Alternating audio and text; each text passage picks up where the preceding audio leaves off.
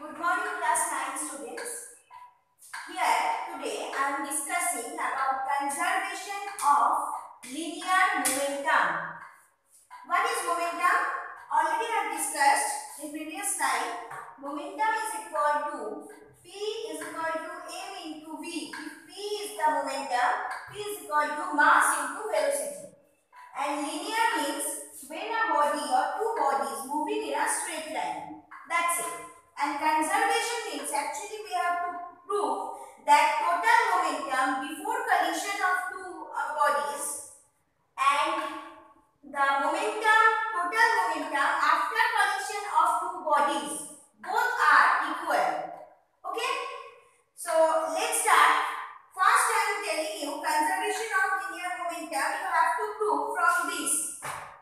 First of all that this thing total momentum are same before the collision and after the collision and the second one we have to prove from this conservation of linear momentum law we have to prove the second law of motion that means Newton's second law that means F is equal to m into a. So let's start. First see two bodies mass of first body is or ball you can say it's a ball so mass of first ball is m1 and mass of second ball is m2 now velocity. Initial velocity of first ball is u1 and initial velocity of second ball is u2 so collision happens. This is that direction positive direction. That's why f that is force is positive and that is opposite direction that's it that's why minus f that means force is negative now the next one after collision again they are getting fast ball mass m1 velocity a new velocity that is final velocity it has got that is v1 and for the second ball m2 and velocity is v2 m2 is the mass and velocity the final velocity is v2 now let's start. Now see rate of change of momentum of fast ball. Fast ball rate of change. That means m1 v1 that means this is the momentum of after collision of fast ball minus m1 u1 that means momentum of before collision of fast ball divided by t rate of change that's why divided by t this is only the force your momentum rate of change of momentum is only the force that's why we can write f is equal to this is positive i told you because it is going to that direction so f is equal to m1 v1 minus m1 u1 divided by t this is number one equation why because from second law of motion generally we got this that f is equal to rate of change of that is that's why i have written from here that is f is equal to this now similarly for the second ball minus f because this direction after collision it is moving. That's why minus f is equal to m2 v2 minus m1 u1 um, m2 u2 divided by t minus f is equal to this. That's why the next step we can write f is equal to minus this.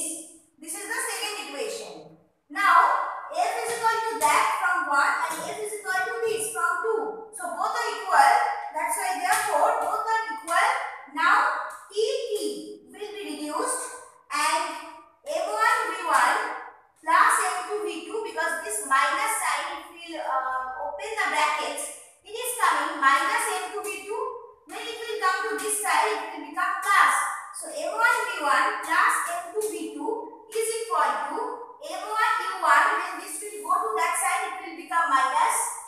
This, minus sign will become plus.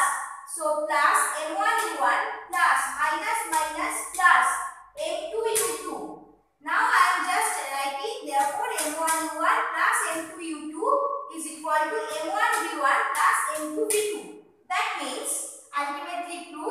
then the momentum of the before collision is equal to momentum of after collision. Now the second group. From one equation, you can say that F is equal to, if I take M1 common, so it is coming V1 minus U1 by T, V minus U by T is acceleration. So instead of that, I can write M1, A1, A for acceleration.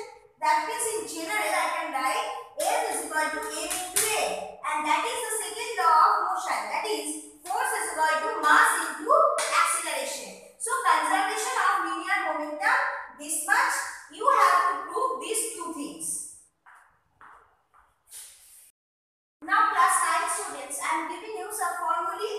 is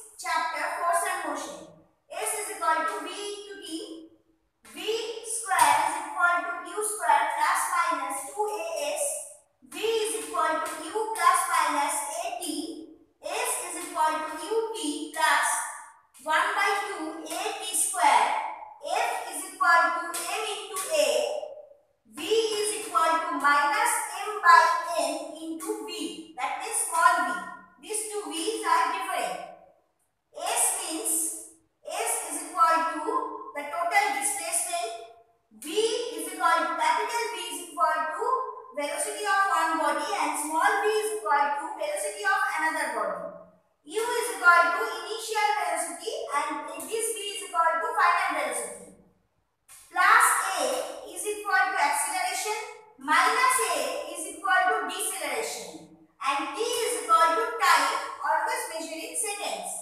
Now applying this formula whatever sums given in your example